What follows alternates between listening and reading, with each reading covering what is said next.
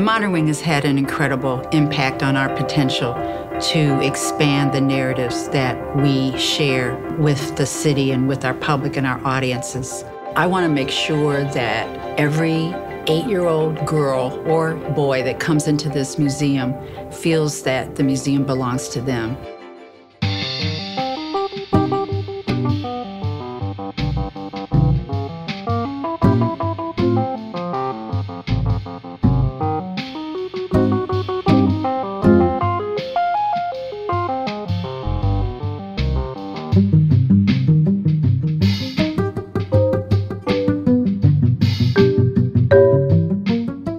My project has been how do you get an object to sit in a room? We totally got rid of display.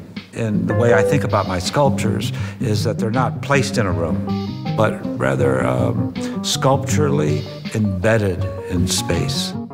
So we have two walls, three bays, and then there's some big, the big doorways between the bays aren't just passages for people, but they became vistas.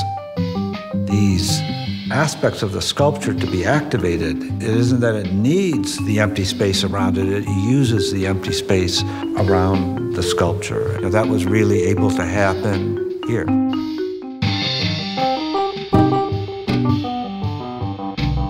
When we had our show in 2012, it was really exciting to be able to use the entire space that was devoted to architecture and design.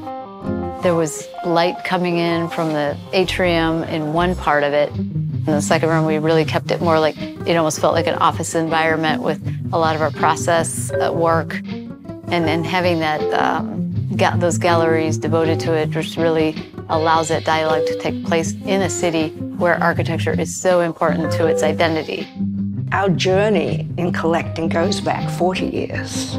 So this was our lives, traveling the world, going to museums, looking at art, buying art, and that's what it evolved into.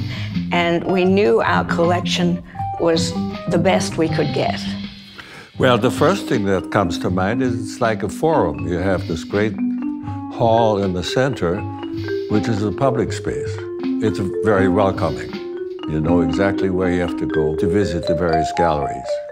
I believe that the Art Institute means a great deal to the people of the city of Chicago. They're very proud of that museum. It has something for everybody. I mean, you name it, and the best examples.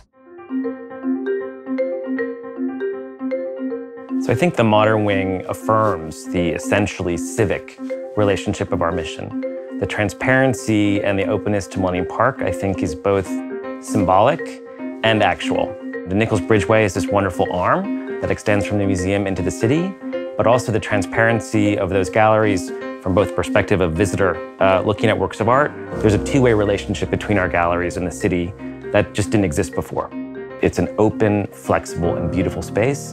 And it's also a space where you never forget where you are in the world.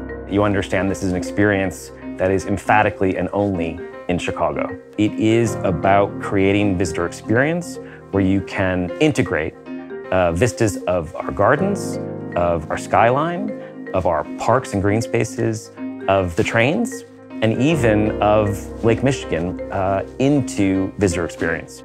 I think this understanding uh, that we've achieved today of what transparency means to us really will help shape the vision of who we want to become in the future throughout the second half of the 21st century and beyond.